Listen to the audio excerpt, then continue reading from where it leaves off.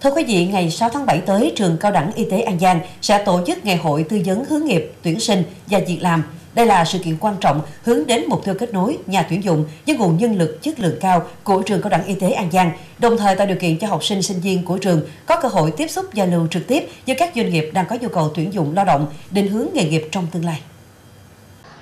Ngày hội sẽ có hơn 20 đơn vị tham gia cùng hàng ngàn vị trí tuyển dụng và sự tham gia của hơn 1.000 sinh viên của trường Cao đẳng Y tế An Giang. Ngày hội không chỉ tạo điều kiện để các sinh viên được tiếp cận trực tiếp với các đơn vị sử dụng lao động, các cơ sở y tế, nhà tuyển dụng để tìm việc làm và định hướng việc làm trong tương lai, mà còn được các đơn vị tuyển dụng trực tiếp tư vấn hướng nghiệp về hoạt động đào tạo, mô tả các ngành nghề, cơ hội việc làm, hướng phát triển, vị trí việc làm sau tốt nghiệp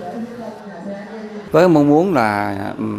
trường sẽ mở ra một cái ờ, hướng mới để cho sinh viên tăng cường tiếp xúc với cái nhà tuyển dụng và à, cũng tạo điều kiện để các nhà tuyển dụng và những cơ sở y tế có thể tiếp cận được cái nguồn nhân lực thì là trường à, tiến hành à, ngày hội việc làm để ờ, các doanh nghiệp và cái sinh viên có thể tiếp xúc với nhau à, tạo cái mối giao lưu với nhau để ờ, tăng cái cơ hội việc làm cho các em. Trước đó, trường Cao đẳng Y tế An Giang cũng tổ chức chương trình tư vấn và hướng nghiệp với hoạt động trải nghiệm một ngày làm cán bộ y tế tại các trường trung học phổ thông trên địa bàn tỉnh vào các ngày thứ Bảy hàng tuần. Chương trình được thực hiện nhằm tạo điều kiện để học sinh của các trường trung học phổ thông được trực tiếp tham gia vào các hoạt động hướng nghiệp, được tiếp cận với các thiết bị của các ngành nghề và môi trường học tập, sinh hoạt vui chơi, trải nghiệm như một sinh viên khi tham gia học tập tại trường. Qua đó, tạo điều kiện cho học sinh có ý thức thái độ tích cực về nghề nghiệp, việc làm, giúp học sinh khám phá sở thích, năng lực, sở trường, nguyện vọng nghề nghiệp của bản thân. Trong khuôn khổ hoạt động Ngày hội tư vấn hướng nghiệp tuyển sinh và việc làm của trường Cao đẳng Y tế An Giang còn có chương trình tọa đàm đối thoại giữa các nhà tuyển dụng và sinh viên năm 3 của trường Cao đẳng Y tế An Giang. Chương trình sẽ cung cấp cho học sinh thông tin về các chương trình đào tạo, tư vấn cho học sinh về vị trí việc làm sau khi tốt nghiệp, về xu hướng phát triển của ngành nghề trong xã hội. Qua đó, sinh viên sẽ được tư vấn, định hướng và tiếp cận các cơ hội việc làm sớm, giúp sinh viên chủ động làm quen, tham gia phỏng vấn trực tiếp với nhà tuyển dụng.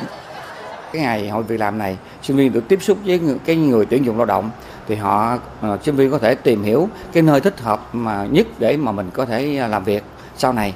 À, một cái mục tiêu nữa đó là qua cái ngày hội này mình tăng cường cái cơ hội tiếp xúc giữa trường, à, các cơ sở y tế rồi những doanh nghiệp những cái đơn vị mà sử dụng nguồn nhân lực y tế qua đó mình có thể trao đổi củng cố mối quan hệ mình trao đổi về à, chuyên môn nâng cao cái à, cải thiện cái, à, cái chất lượng đào tạo để có thể đáp ứng được nguồn nhân lực y tế sau này càng ngày một tốt hơn. Và cái mục tiêu tối thượng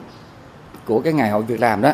là à, mình à, nâng cao được cái tỷ lệ việc làm à, sau khi tốt nghiệp là có việc làm sau khi tốt nghiệp của sinh viên và giúp cho sinh viên có thể có việc làm ngay sau khi ra trường và do ừ, sau qua đó là phản ảnh được cái chất lượng đào tạo của nhà trường và sự chuẩn bị sinh viên cho cái thị trường lao động. Đây là lần đầu tiên trường Cao đẳng Y tế An Giang tổ chức ngày hội tư vấn hướng nghiệp, tuyển sinh và việc làm. Với sự chuẩn bị chu đáo, ngày hội hứa hẹn mang lại nhiều lợi ích cho các đơn vị tham gia, đặc biệt về nhu cầu tuyển dụng nhân sự chất lượng, xây dựng và nâng cao thương hiệu, tạo mối quan hệ hợp tác với nhiều cơ hội hợp tác trong đào tạo, nghiên cứu và phát triển nguồn nhân lực. Nhận diện nhu cầu và xu hướng mới trong ngành y tế, phát triển nguồn nhân lực tại ngày hội việc làm sẽ tạo ấn tượng tốt và thu hút sinh viên giỏi, đáp ứng nhu cầu nhân lực y tế của tỉnh An Giang trong tương lai.